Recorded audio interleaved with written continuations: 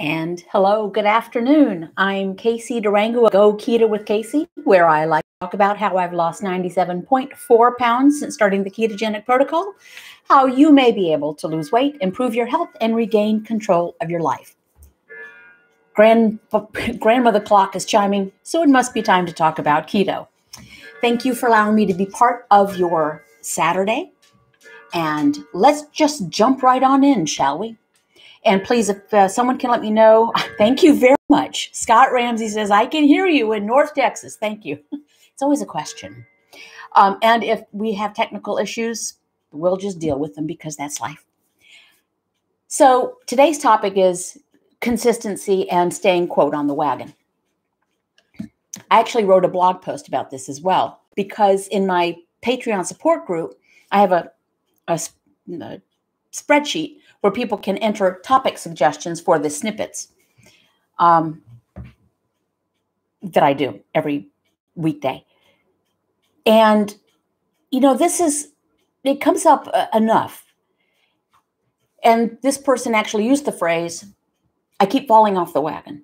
You know, I'll be good. And this person knew that keto worked for them. They'd lost however many pounds and were happy. And then kind of got lackadaisical about it and now trying again. The the person shared that they get 10 days into it and they fall off the wagon and have to start all over again. And asked for pointers on how to stay on the wagon how to keep going how to remain consistent. So this put me of a mind where and, and i do believe that words are very important. The words that people say about us to us, but mostly the words we use to and about ourselves, whether we say them out loud or we think them. So I'd been talking to a friend, and they had been talking in a setting where a psychiatrist was speaking to a group. And the phrase falling off the wagon came up. And this psychiatrist shared, you know, that is a really passive voice falling off the wagon.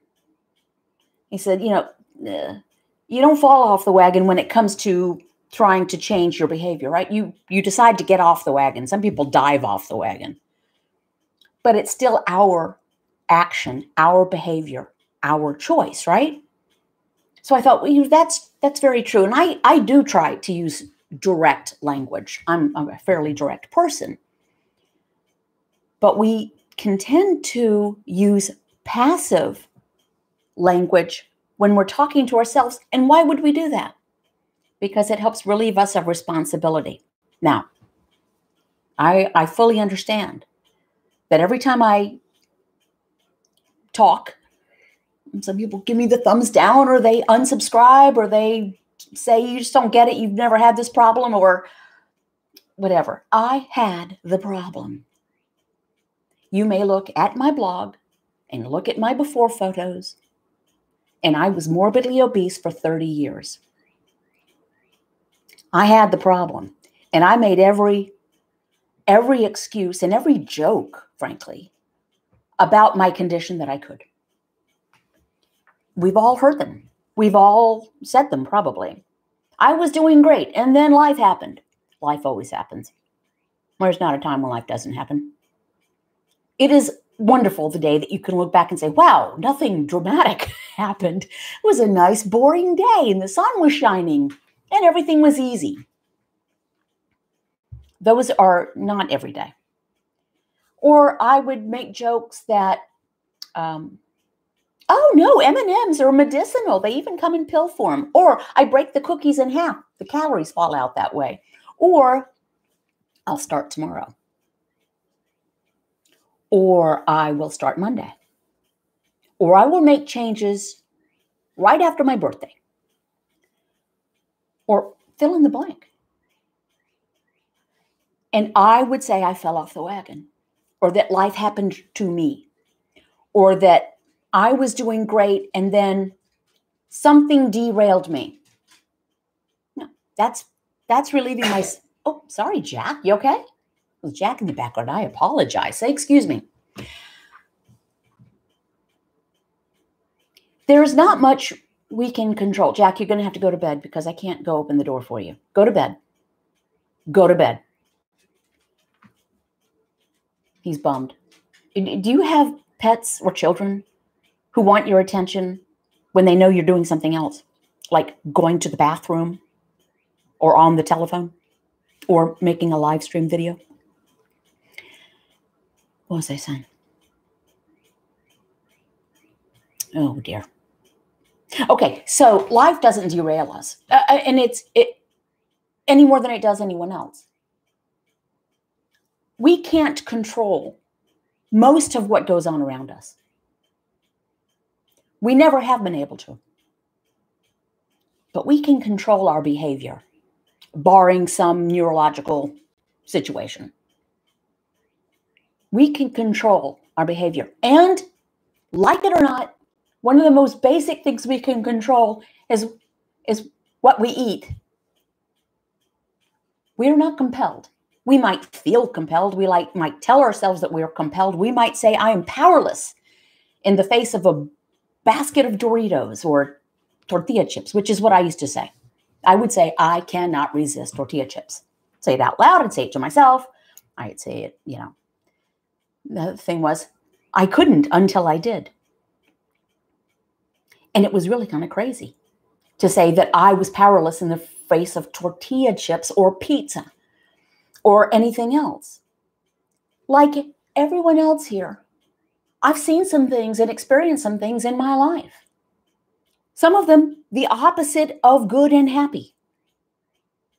I've had terrifying medical diagnoses. I've buried loved ones. I have found a loved one dead. I have had my heart broken. I've been disappointed by people. I've been disappointed in myself. I fell 30 feet off of a ladder. I'm here to tell the tale. Really? I'm powerless in the face of tortilla chips? Okay, so I'm wearing my t shirt today. I'm stronger than a cookie. I'm stronger than a cookie and I can stay on the daggum wagon if I choose to. Let's just say it. If you decide to eat food that doesn't serve you well, and let me back up the, the ketogenic protocol as I learned it and as, of, uh, as I have followed it all this time, keep your carbohydrate intake to 20 grams or fewer a day, total carbs, not net. If it's not on page four, link below. Don't eat it. Don't eat if you're not hungry. Stop when you're satiated. 100%, the last two things are the hardest. Don't eat if you're not hungry and stop when you're satiated. And you don't even need a food list. Eat fatty sources of protein and full fat dairy, not in unlimited quantities, and non starchy vegetables about a cup a day max, and two cups of leafy greens a day max, meaning you don't have to have any if you don't want. That's what it is. So if I choose to I don't know. If I choose to have M&Ms or I choose to make the foolish decision to eat a prepackaged product with the word keto on it, come on, man. It's not keto. It's, uh, it's almost impossible to make a shelf stable item in packaging keto friendly. Green beans in a in a can, okay, keto friendly so-called keto clusters or keto munchies or keto cookies or keto pie or keto bu- no anyway but if i make the choice to eat those that was my choice i wasn't hoodwinked i didn't fall off the wagon i wasn't pushed off the wagon i decided to eat those things sounds harsh but let's pretend we're talking to a friend a loved one a child a family member who continues to make decisions that they know are self destructive? Do we say, ah, just keep on? That seems to be working for you really well. Well, we could, but that would sound very sarcastic and snarky. No, we would hope to point out to them the first thing you have to do is stop the behavior. You don't have to have a big psychoanalysis about why you're doing the behavior. Stop the behavior. Maybe you figure things out later. I always like to liken it to triage you know, in the emergency room, they don't go straight for cosmetic surgery. They stop the bleeding. Actually, the first thing they do is they pull the knife out of your thigh. Then they stop the bleeding. Then they make sure you're stable. And then they get you recuperated. And then maybe a cosmetic surgeon comes back and makes this scar look pretty. Stop the bleeding. Lay off the carbs. Don't think about doing it for the rest of your life. How do you stay on the wagon? Don't think that the that the journey's going to go on for 6 million miles. Stay on the wagon for now. Set a timer if you must. I may eat carbs tomorrow, but I'm not going to eat them today. And I won't die if I don't eat carbs. And then tomorrow you say the same thing. It's behavior. And our behavior is our choice. I'm reading The Lives of the Stoics or Lives of the Stoics by Ryan Holiday. The Stoics was a, a group of philosophers in Greece and Rome, spanned a few hundred years. But there were variations on it, but Stoics pretty much believe in self responsibility. And the, the Stoic I'm reading about right now, Posidonius, I was saying it was Publius Rufus. I was saying it was Publius, Publius Rutilius Rufus. No, but it was Posidonius. That's hard to you know remember all these names. Anyway, he wrote, "It is kind of uh, arrogant of us to think that we can control all these outside forces that are going on: nature, politics, greed, disease, who do we think we are anyway? The only thing we can control is our behavior. And what goes on between our ears is what's most important.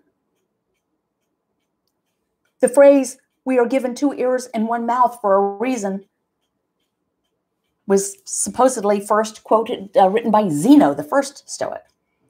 All of that is to say, this is nothing new. We have to stop feeling victimized I did. I felt victimized by food. Food was the boss of me. Advertising influenced me. You know, they they put the luscious pictures and you know video of you know beautiful things up there for a reason. It's because of like Pavlovian response. I'm going to go out in the car and get one right now. When you have restaurant chains saying, "Come to us for your cheat day," Or, you know, you've had a hard day, break out the ice cream. Really? Is the ice cream going to help the day? And is a cheat meal, so called cheat meal, going to help anything? I felt like I was a loser. I'm an, I'm an intelligent, educated, gregarious person. And I was, I felt trapped in my body for one thing. And I felt trapped but what by what I perceived as my weakness of nature to get a control of it. Part of it was physiological. When I was a sugar burner, our brain tells us to keep on burning sugar. It's a sad fact. I'd given up on losing weight. I didn't want to take insulin for type 2 diabetes. I've been diagnosed and treated for cancer three times in my life over the course of no, 20, 15, 15, 15, 15 years. Once while I was pregnant. But I could not stand the idea of taking insulin for type 2 diabetes. So I Googled how to not take insulin for type 2 diabetes. I came across the white coat video of Dr. Eric Westman from Duke University, who's now a pal of mine. By the way, Tuesday will be the Durham online support group meeting with Dr. Eric Westman and me on Crowdcast, but we're at capacity. There are no seats available mm, spots available. Everyone's seat will be in their own home. That's Tuesday, but you can register for the following month. Anyway, so the the video said keep your carbs, you know, blah blah blah blah blah. I said, well, I can, I can do that. So the next time I ate, I laid off the carbs. And the next time I ate after that, I laid off the carbs. It's not that I'm a magical person. I was so low I, I needed to make a change not to lose weight. I was miserable. I'd been morbidly obese for 30 years, from my mid 20s to my mid 50s. So, what changed?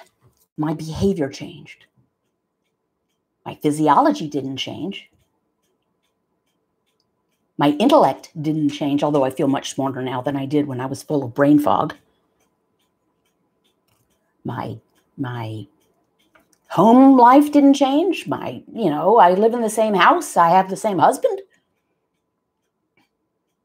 My behavior changed.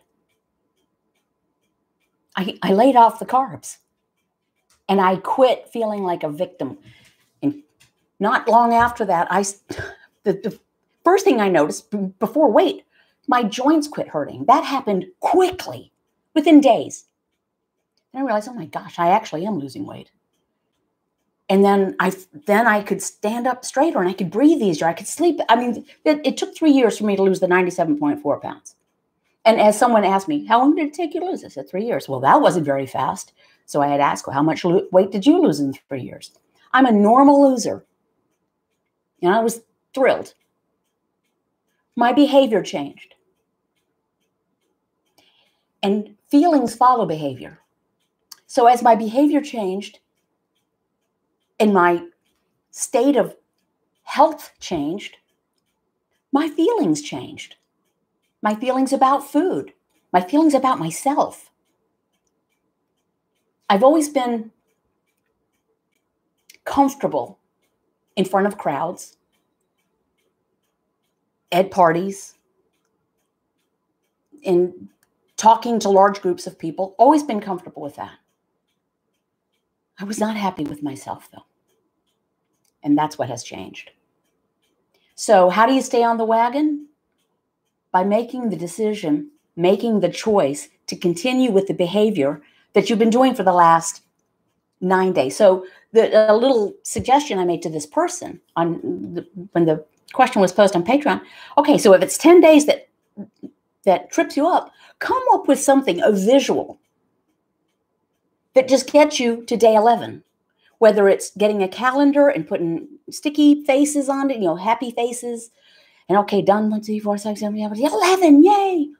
Or you know, getting a, a, jar with marbles, and you move every day. You move a, um, a marble to the jar from you know here's where I'm starting, and here's where I want to get, to get day eleven.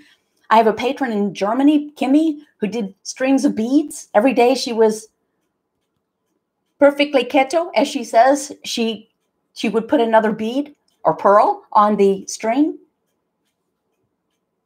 and if she went off, she had to take all the beads off. It's not like she skipped a bead. She had to take them all off and start over. She got this huge long string of, of beads. Find something. Get the get the monkey off your back.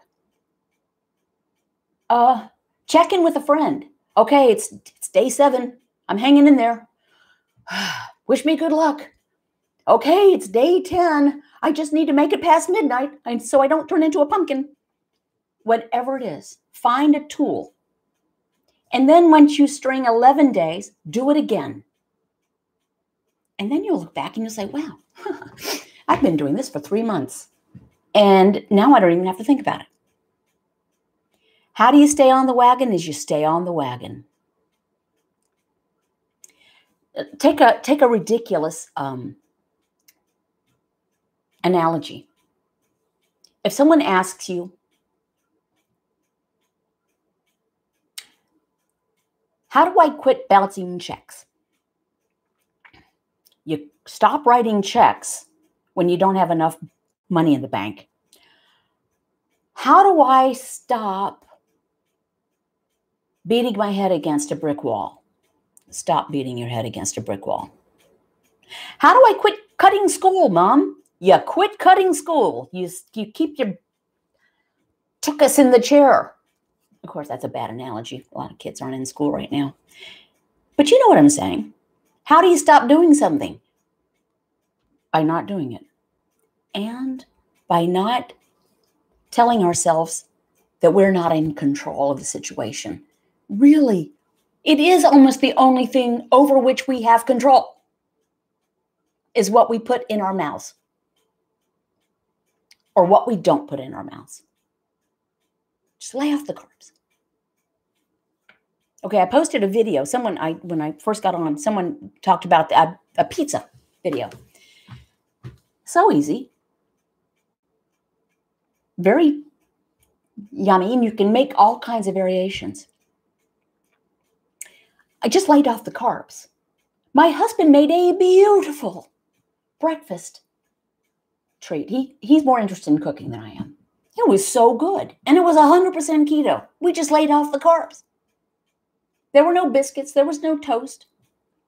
There were no hash browns. But man, was it good. I'm, uh, he, I asked him to do it again and let me record it and I'll post it. It was delish. So t- to summarize, how do you stop? How do you stay on the wagon? You stay on the wagon. And, you, and we have to stop telling ourselves that we are not in control of our actions. We are sad but true. Wouldn't it be nice if we didn't have to be held accountable for anything. But we are. We're not accountable for everything. You know, things happen that are out of our control.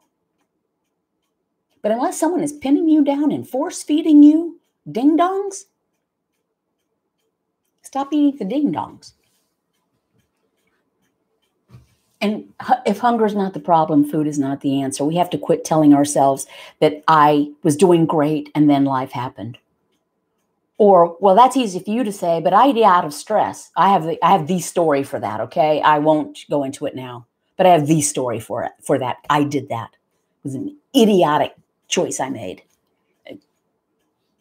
Cut to the chase. I ate all that 10 days later, I'd put on 13 pounds and I still had cancer. You know, so if hunger is not the problem, food is not the answer. It just isn't. We've all seen things. We are stronger than we know. We are stronger than a cookie, or hash browns, or biscuits, or fries, or chocolate cake, or M&Ms. And we certainly are strong enough to stay on the wagon. And if I can do this, you can do this. I promise. Quick, quick uh, shameless commerce division with a nod to the Car Talk guys. Spiral version, perfect bound version. You can get this one at Costco. Costco. I wish. Amazon. You'll get it faster and cheaper if you do it with Amazon if you have Prime shipping. But this is, you can get it from me, it takes longer. But this is Casey's 12 month record book with habit trackers and quotes and journals and all that stuff. I'm just trying to earn my keep around here. So, and I want to give a shout out to patrons. Hey, Trish, um, who made it possible, made it possible for me to change careers with Patreon, which is a private support group. I do, depending on your pledge level, I do 20 video snippets a month from my kitchen at patrons' suggestions. Um, I do a handful of patron only live streams on Crowdcast a month and a handful of patron only video group sessions on Zoom a month, which I just completed before I started this one. Is that that's it? I think that's it. Okay, so thank you so much. Now let's look and see who's here and what they're saying. Hey, Trish. Trish is a helicopter, former helicopter pilot. I have um I have FlightAware up because I'm watching Ernon's flight. My husband's up in his airplane flying. Um, and I saw a couple of new uh, club members, Yolanda Staffer and Brenda Tina Hughes. They are baconators. Thank you so much. S. Nasa writes, Hi, Casey. How are you doing? The pizza recipe was great. Thanks so much. From the eight ounce cheese base, would you make four portions so that you stay to the four ounce cheese limit of page four. Thanks so much. Well, I couldn't eat four ounces, um, but yes. And as you saw in the video, I, I took the eight ounce pizza crust, divided that in two. So now you're already at four ounces per half. And then my husband ate four of the five slices. Yeah, you just have to make sure that you you don't overeat. Okay, I'm gonna I'm I'm going down because y'all I love it that y'all talk to each other. Um, hey, there's a there's a bravocado here. Brenda Tina Hughes writes, can't wait for my shirt to get here. What shirt did you get? I need, I'm going to make some more shirts. Uh, on the video group session today, someone was talking about she's doing great and she started walking again. She said she'd given up on walking. And she was at work and it, she says, I, I that. It's always a lunch break. She says, I don't eat lunch. I don't eat during that break. So someone came back and said, Wow, you look great and happy. And well, what did you have for lunch? She said, I had a walk for lunch. I'm going to make a t shirt that says, I'm having a walk for lunch. So people can wear it at work. Like, you know, no, I'm not eating. I don't need to eat. It's okay. But you see, the, t- the labels for food things permeate every part of our lives breakfast, lunch, dinner, snacks.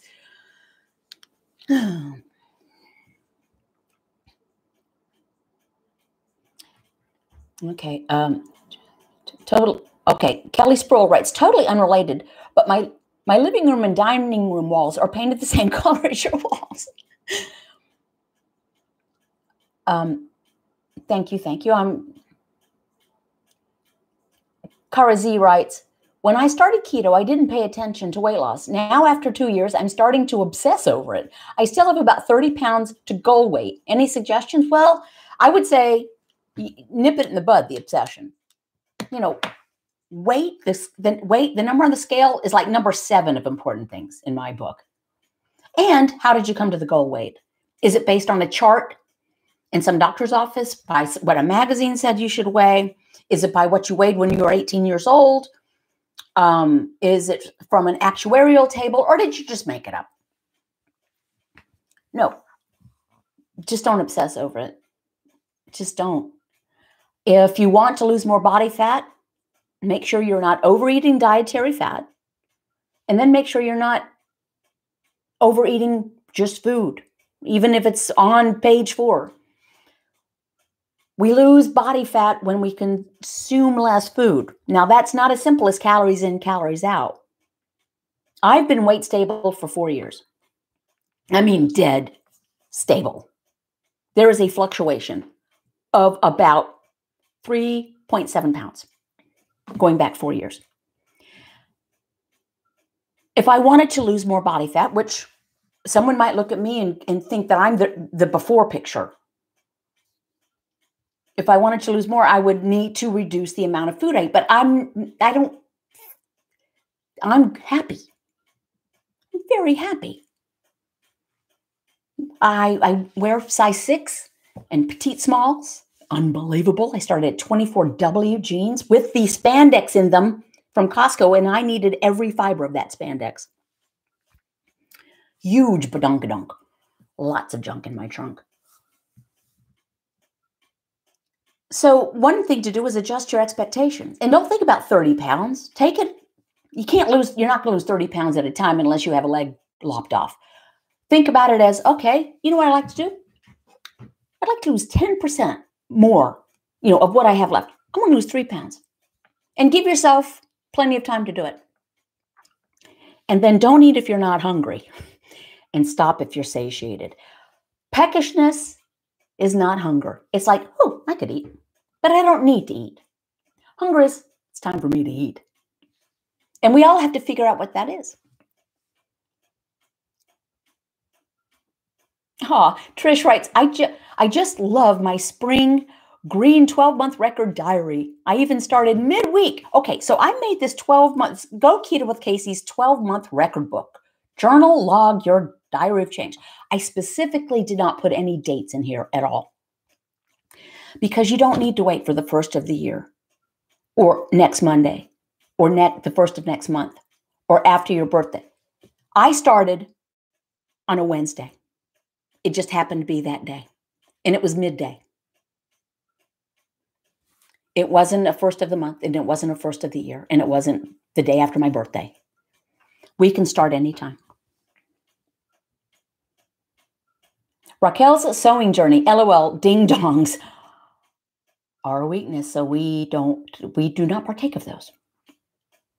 Monica Olbrich, hey, Monica. Uh, thank you for doing doing this, Casey. You're an inspiration. Well, thank you so much. Thank you for being here. Jan Lamar, I'm going to have to, you know, let me try to make the text bigger. Jan Lamoran writes, it's to not buy keto store products because they are expensive and they're not necessary. This is just if this is just food. How do you start? Just eat food. Eat whatever you usually eat. Just lay off the carbs. Lay off the rice, potatoes, bread, and pasta. But you can have the chicken and the steak and the pork and the bacon and eggs and the ham and the lamb and the fish and the seafood obviously if you don't like some of those things don't eat them. Someone wrote to me says i won't be able to do keto. I don't like bacon. Don't eat bacon. What am i going to do for breakfast if i don't like eggs? Have a pork chop. You know we, we've gotten into this framework of what we're supposed to eat and when. It's all been self you know it's been imposed upon us but but we get, we get to choose Hey, Shelley. Mary T writes, watch Dr. Westman interview, and the interviewer said, sometimes you just have to cave and have the Oreo. Dr. Westman said, they still make Oreos? Okay, so really? What, I'm, I want that's interesting. I did not see that interview. Let's let's take that on a logical thing. So an interview says sometimes you just have to cave and have the Oreos. You can hear cuckoo in the background. I know cuckoo drives some people crazy. Other people really like it. It reminds them of their grandmother's house. What is a, an Oreo? And I loved Oreos. My brother, whose type 2 diagnosis triggered me onto this whole thing, his idea of giving up, of, of cutting back on carbs is giving up Oreos for Lent. So I guess he'll be happy on Monday. What will Oreos do? What will they fix? There's zero nutritional value in them. They're not food. I, I got on a real kick a couple of weeks ago about Pringles. Their Pringles aren't even food adjacent. They're fake, fake food. So that's kind of crazy.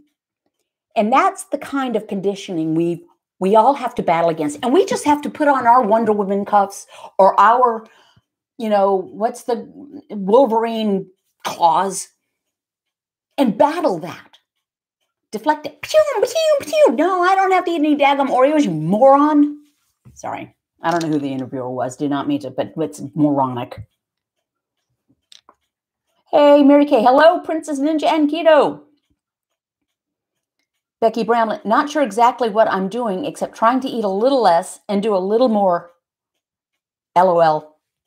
That's, you know, Okay. I loved Oreos. My problem was a sleeve of them, like the row was a serving.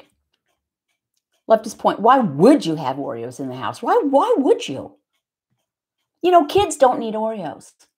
My house was a walking sugar factory when I was a kid. It was my mother, I was one of seven children. My mother would buy eight loaves of, of long white bread, the really square kind, at a time carton and carton and carton of Coca Cola in the pony bottles, because that's how they came then. Chips Ahoy, Oreos. A meal would be a meatloaf with minute rice, canned peas, applesauce, which I like mashing all together. That's just sugar, sugar, sugar, sugar, and a little bit of ground beef. Kids don't need Oreos. They don't need Chips Ahoy. They do not need Captain Crunch. They don't need Frosted Flakes. They certainly don't need Froot Loops. Mona Tufan. Mona, I have to ask you a question. How, I, I know how to say merhaba in Turkish. How do you say goodbye in Turkish? Um, when I do my snippets, I try to log off with different languages. Mona writes, I simply look at the advertisements. If something has an ad, it's not a real food. No one sells spinach with advertisement, right? You know, the, yeah, we're the spinach producers or the lamb manufacturers. Now, there was the beef advisory. Beef, it's what's for dinner with, you know, was it Sam Shepard? Not Sam Shepard. What's his name? A great voice. Okay. Mona. Hosh, I'm to have to look it up. Hoshkala. Hosh, Hoshakal? Hoshakal. Thank you. Uh, Mona is from Istanbul. Yeah, Kara, Kara Z writes, haha, sounds like my house growing up. Everybody's house growing up, right? Almost everybody's house. My, father, who was not the cook in the house, when my mother was gone for any reason, and he, you know what he made me? He made me sandwiches on the white bread, which is sugar, with margarine, which is sugar, and then he would put sugar on it. So he'd sprinkle sugar on the margarine on the white bread. I had margarine and sugar sandwiches. It is a wonder that I survived. They were not trying to kill me. They didn't know any better. Hauschakal, as pronounced, Hauschakal. Thank you. Hauschakal. Marhaba, Hauschakal. You know, I think it's respectful to try to pronounce people's names correctly and be respectful of cultures. Now, Mona, are you going to be uh, observing Ramadan? And if I'm off base on that, let me know. And if you do, do you find it challenging? Because that is coming up. Michelle writes, oh my God, margarine and sugar sandwiches. Yep. Now, my father was morbidly obese. My father had was walking metabolic syndrome. Hello from Windham, Ohio, writes Ann Taft. Um, let me see, what else can I share?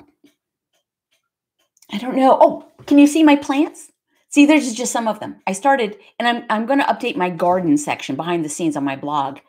For the first time ever, I started seeds. We've had vegetable gardens before, haven't had one in a few years, but I started seeds, and these are mostly tomatoes, some cabbage, I think a couple of sunflowers in there. I'm very excited. I need to do some more repotting today. My dad made butter sugar sandwiches as well.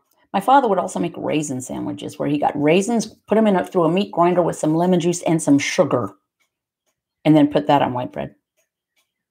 I see your beautiful eggs. Yes, we have beautiful eggs from our backyard chickens. Toby Mac Ballerina writes, I fell off the wagon, so to speak, last night and binged on almonds and cashews. Been carnivore since December. Feel so terrible. Couldn't sleep. There's a reason. Thank you for sharing and for your transparency, but let's change that. You didn't fall off the wagon. You decided to eat almonds and cashews. There's a reason nuts are not on page four. They are calorically and carb dense, and they're very easy to mindlessly overeat. And I love cashews. So I'm going to suggest to you, Toby, that you you start saying, "I decided to eat them," and then if you say, "And then I and I feel terrible today," connect those two things. I decided to eat almonds and cashews, and I feel terrible today. So remember that. Write it down. Put it somewhere. Make a little video reminder for yourself. The next time you feel like eating almonds and cashews, play it for yourself. Make a voice memo. Uh, Valerie Martini Martini asks, "What's with the eggs? We have backyard chickens." And we've got some more over there. There's a bowl of them. We have 15 backyard chickens. And we eat a lot of eggs. And our sons are coming tomorrow. It's my husband's birthday tomorrow. So our sons and their families are coming. So I will be gifting some eggs to our children. Um, Daphne Garza, hola from Spain. Rice and pateros are the base of menu here. It's going to be tough, but okay, honey. Mi amor, yo voy a decir una cosa. Mi esposa es de Colombia, South America, okay? Frijoles, arroz, papas, yuca, patacón. If he can do it, you can do it. And he never had a weight problem. He just wanted to be healthier. He saw me getting healthier. So what I said to her was, she says, you know, it's going to be hard because of the rice is the basis of everything. We would buy rice 50 pounds at a time, beans 25 pounds at a time. We would get the abuelita tortilla chips, giant ones from Costco, five at a time. My husband makes delicious salsa. And he just, and I used to, even after I was doing this, I would grind wheat berries to make homemade wheat bread. It would smell delicious. I made it every week. And he said, you know, stop. He never, he just said, stop, don't make any more bread. What? And don't buy any more rice and don't buy any more beans. Every culture thinks that they're the culture where carbs are the base. Every culture, carbs are the base, except for the Inuits and the Maasai. Okay? Italy, South America, Central America, Germany, England, Italy, France, Spain. Everywhere carbs are the base.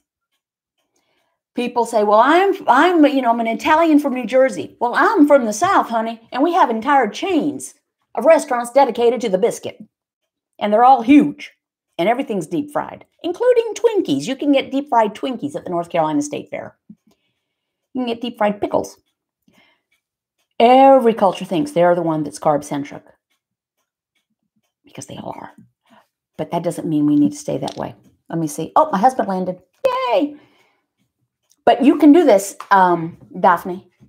If my husband could do it, like I said, he never had to give up food because he was never had a weight or a health issue. He just, it made sense to him because he was hearing the same lectures I was hearing. Because he, he heard them in the background because I was listening to them and he heard them.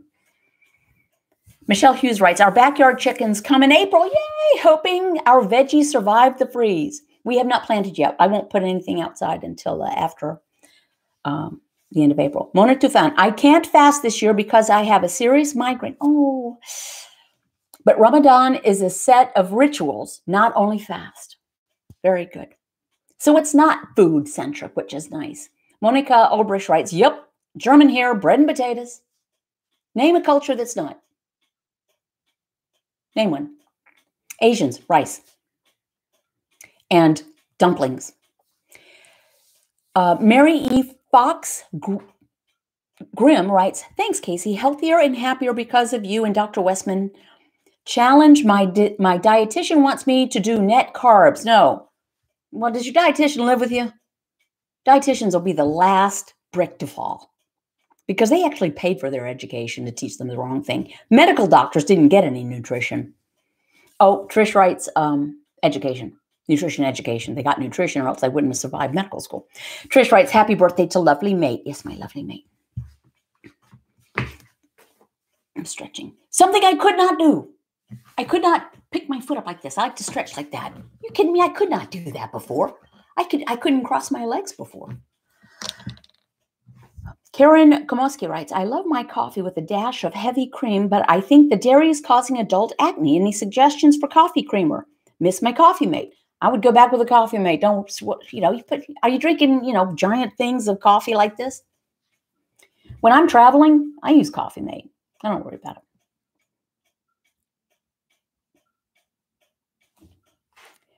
Um, Kelly Sproul writes, you're, you're from North Carolina? I am. Michelle writes, I started last month with a blood sugar of 377 while taking metformin. Two weeks in, my blood sugar is 120. Michelle, are you signed up for the Durham support group meeting with Dr. Westman and me on Tuesday? He loves stories like this. If you if you aren't, try to get the next one. It's free. It's free. You can just show up and talk with Dr. Westman and me. Dr. Westman mostly. Um, just say no to the net carbs. Total BS. Net carbs, it's not a magical thing. It just means more carbs. If you can tolerate more carbs, fantastic. I cannot. I'm below the 20 carbs every single day. I'm from Southport, North Carolina, but live out west now. And uh, Shell writes, Wowzers. I'm sure that's in response to the blood sugar. All right, my friends, I'm going to sign off. Get ready for the rest of my day. Thank you for allowing me to be part of this and to remind you you can do this. Our actions are in our control. Lots of other things aren't. But we can control. If you decide you're going to have a death by chocolate dessert, it's your choice. It's not that someone forced you. It's not that you had a bad day. You decided to do it. Fine. No judgment. If you feel like crud the next day, then maybe you won't do that again. But keep your carbs 20 grams or fewer a day, total not net. If it's not on page four, link below. Don't eat it. Don't eat if you're not hungry. Stop when you're satiated. Do a girl, to sister or friend, and buy a green book. And you can get t-shirts and stuff from my Teespring shop. Like I said, I'm just trying to earn my keep. My former career was very lucrative, but I like doing this better. Okie dokie. Denise, hey, Denise Martinez. Hola, uh, tú y Carlos. And take it easy. And there goes grandmother clock. That's 45 minutes. This was a long one. Okay. Thanks a lot, guys.